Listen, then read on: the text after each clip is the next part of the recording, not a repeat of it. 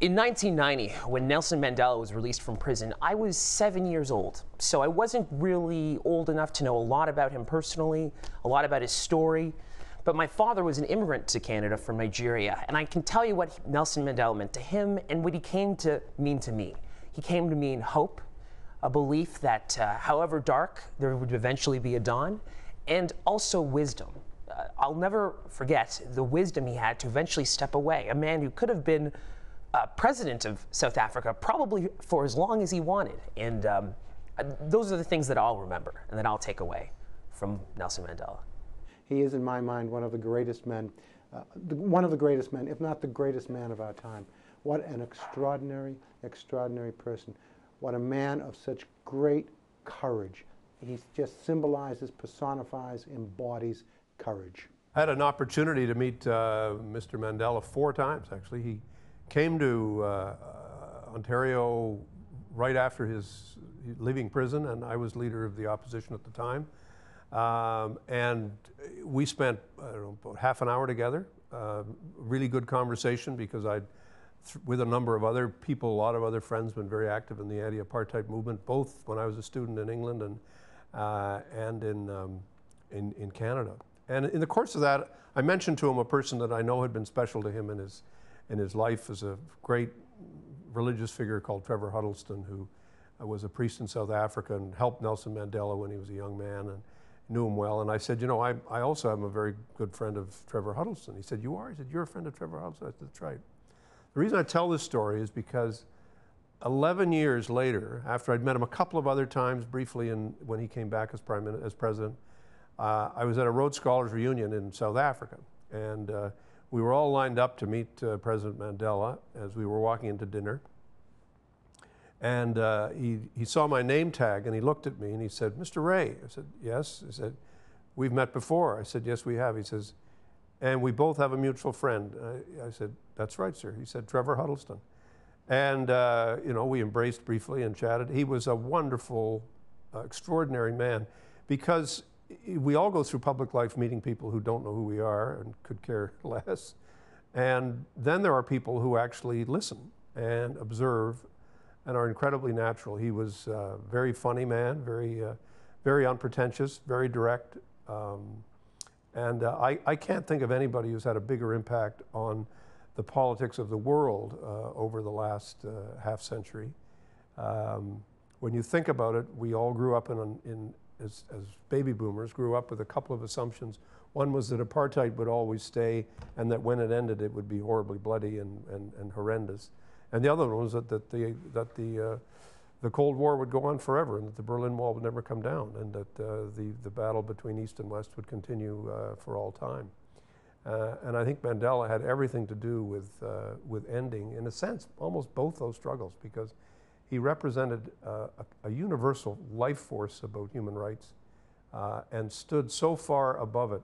Last thing I want to say is we spend half an hour in opposition and we're already bitter and trying to figure out how do we get back at the people uh, who are now in government? How do we do to them what they did to us or how do we make sure?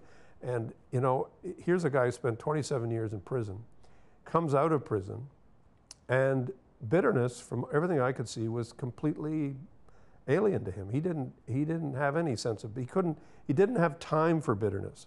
So when he spoke at that dinner in, in uh, South Africa, he presented himself to the Rhodes Scholars and he jokingly said at the beginning, I am, I am the successor of Cecil Rhodes.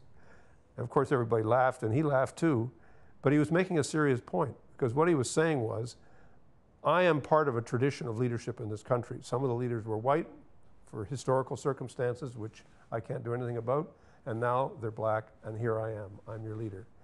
And uh, I can't think of anybody who, who has personified more in my lifetime a sense of what uh, the best of public life is about, which is don't be bitter. And uh, remember that there are good people in opposition. And remember as well that you're going to be on that side one day.